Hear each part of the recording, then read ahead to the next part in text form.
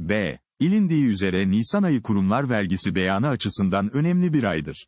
Ülkemizde potansiyel vergi mükellefi, vergi kimlik numarası verilen, sayısı 60.721.268 olup, beyanname veren mükellef, gelir vergisi, kurumlar vergisi, KDV, sayısı toplam 7.443.776'dır. Basit usulde vergilendirilen yani beyanname vermeyen ve dolayısıyla kazançları üzerinden hiç vergi ödemeyen esnaf sayısı ise 833.417'dir. Beyanname veren gelir vergisi mükellefi sayısı toplam 2.478.134, katma değer vergisi, KDV, mükellefi sayısı 3.552.298, kurumlar mükellefi sayısı ise 1.143.344'tür. Kurumlar vergisinin toplam vergi tahsilatı içindeki payı yaklaşık %19 civarındadır. Kurumlar vergisi beyan rehberi, G. Elir İdaresi Başkanlığı her yıl olduğu gibi bu yılda mükelleflerin yararlanmaları için kurumlar vergisi beyan rehberi hazırlamış ve duyurmuştur. Mükelleflerin 2023 hesap döneminde elde ettikleri kurum kazançlarının vergilendirilmesine yönelik olarak Gelir İdaresi Başkanlığı tarafından hazırlanan kurumlar vergisi beyan rehberine GİB sitesinden ulaşılabilir. Bu yazımızda ayrıntılara girmeden bilinmesi gereken ana hususlara kısaca değineceğiz. Kurumlar vergisi beyannamesinin verilme zamanı. KVK'nın 21 bölü 1, inci maddesine göre kurumlar vergisi en geç, beyannamenin verilebileceği son gün olan 30 Nisan 2024 gününde ödenmek zorundadır. Kurumlar vergisinde taksit uygulaması yoktur. Kurumlar vergisi beyannamesinin gönderilme şekli. Tüm kurumlar vergisi mükellefleri beyannameleri elektronik ortamda göndermek zorundadırlar. Aktif toplamı veya net satışları belli hadlerin üzerinde olduğu için beyannamelerini SMM'lere imzalatmak zorunluluğu bulunmayan mükellefler doğrudan kendileri, hadlerden ikisinin birden altında kaldığı için beyannamelerini SM veya SMM'lere imzalatmak zorunda olanlar ise, prensip itibariyle aracılık yetkisi verilen meslek mensupları aracılığı ile e-beyannamelerini gönderebileceklerdir. YMM'lerle tam tasdik sözleşmesi düzenleyen kurumlar vergisi mükellefleri, e-beyannamelerini hiçbir hadde ve sınırlamaya tabi olmaksızın bizzat kendileri gönderebilirler. Beyannameye eklenecek belgeler. Birinci beyannameye eklenecek mali tablolar. B. İlindiği gibi kurumlar vergisi beyannamesine ayrıntılı bilanço ve gelir tablosunun dipnotlu ve karşılaştırmalı olarak eklenmesi bütün mükellefler için zorunludur. Ek mali tabloların eklenmesi ise aktif toplamı ve net satışların tutarına bağlıdır.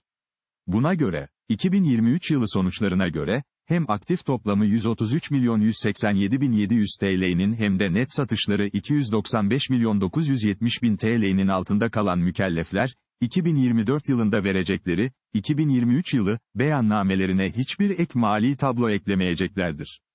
Bu hadlerden herhangi birini aşmış olanlar, 2023 yılında verecekleri beyannamelerine sadece kar dağıtım tablosu isimli ek mali tabloyu ekleyeceklerdir. Diğer ek mali tabloları eklemelerine gerek yoktur. Faaliyet sonuçları zarar olsa dahi kar dağıtım tablolarının verilmesinde yarar vardır. Son dönemlerde vergi daireleri zararlı olup bu tabloyu vermeyen mükelleflere usulsüzlük cezası uygulamaktadırlar. Bilanço ve gelir tablolarının ise beyannamelere, bütün mükellefler tarafından, eskiden olduğu gibi dipnotlu ve karşılaştırmalı olarak eklenmesi zorunludur. 555 sıra no.lu vergi usul kanunu gebel tebliğ uyarınca, 2023 hesap dönemi sonuna ait bilançonun düzeltmeden önceki hali ile düzeltme sonrasında oluşan haline beyanname ekinde birlikte yer verilecektir. İkinci gerçek faydalanıcı bilgisi bildirimi. 5. 29 sıra nolu ve UK genel tebliği ile gerçek faydalanıcı bilgisi bildirim yükümlülüğü getirilmiştir. Söz konusu tebliğ uyarınca, kurumlar vergisi mükellefleri, gerçek faydalanıcı bilgisini geçici vergi beyannameleri ve yıllık kurumlar vergisi beyannamesi ekinde bildirmek zorundadır.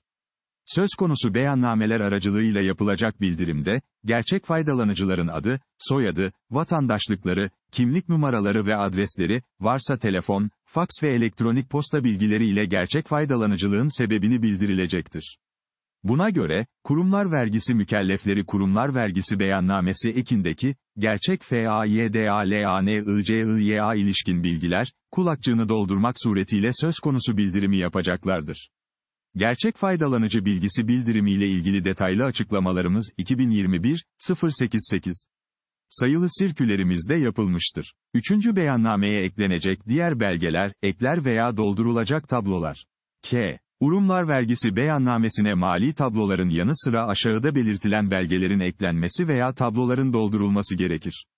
Ayrıntılı bilanço, enflasyon düzeltmesi öncesi ve sonrası olmak üzere iki ayrı bilanço ve ayrıntılı gelir tablosu veya işletme hesabı özeti, kesinti yoluyla ödenen vergilere ilişkin belgeler, gerçek faydalanıcıya ilişkin bilgiler, serbest bölgelerde elde edilen kazançlar, tekno girişim ve teknokent sermaye desteği, yabancı ülkelerde ödenen vergilere ilişkin belgeler, dar mükellef ortağı bulunan kurumların bu ortakların adları, unvanları ve ikamet adreslerine ait bildirim, Muhasebe sistemi genel tebliğleri uyarınca temel mali tabloların, bilanço, gelir tablosu, yanı sıra diğer mali tabloları düzenlemek mecburiyetinde olan mükelleflerce düzenlenen kar dağıtım tablosu, kurum ortaklarına ve yönetim kurulu üyelerine ilişkin bildirim, transfer fiyatlandırması, kontrol edilen yabancı kurum ve örtülü sermayeye ilişkin bilgiler, yurt dışı mukimi kişi veya kurumlara verilen eğitim ve sağlık hizmetlerine ilişkin form, Teknokentlerden elde edilen kazançlara ilişkin bilgiler, ARGE ve tasarım indirimi bilgileri, KKEG bilgileri, indirimli kurumlar vergisi tablosu, nakdi sermaye artışı indirimi bilgileri, sınai mülkiyet hakkı istisnası bilgileri, dar mükellef ulaştırma kurumu hasılat defteri, yabancı para pozisyonuna ilişkin bilgiler, 6491 sayılı kanun 12 bölü 5 met kapsamında itfa payları tablosu, G, 5. K, 113. madde kapsamında hasılat esaslı kazanç tablosu, KVK 5 bölü 1 A maddesine göre yurt içi iştirak kazancı istisnasına ilişkin bilgiler, KVK 5 bölü 1 B maddesine göre yurt dışı iştirak kazancı istisnasına ilişkin bilgiler, KVK 5 bölü 1 C maddesine göre yurt dışı iştirak satış kazancı istisnasına ilişkin bilgiler, KVK 5 bölü 1 G maddesine göre şube kazancı istisnasına ilişkin bilgiler.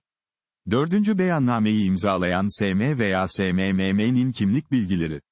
B. Eyannamelerini 3568 sayılı kanuna ilişin 4.lu tebliğ gereğince SM veya SMMM'lere imzalatanlar, kurumlar vergisi beyannamesinin ilgili bölümüne beyannameyi imzalayan meslek mensubunun kimlik bilgilerini yazacak ve beyannameyi meslek mensubuna imzalatıp kaşeleteceklerdir.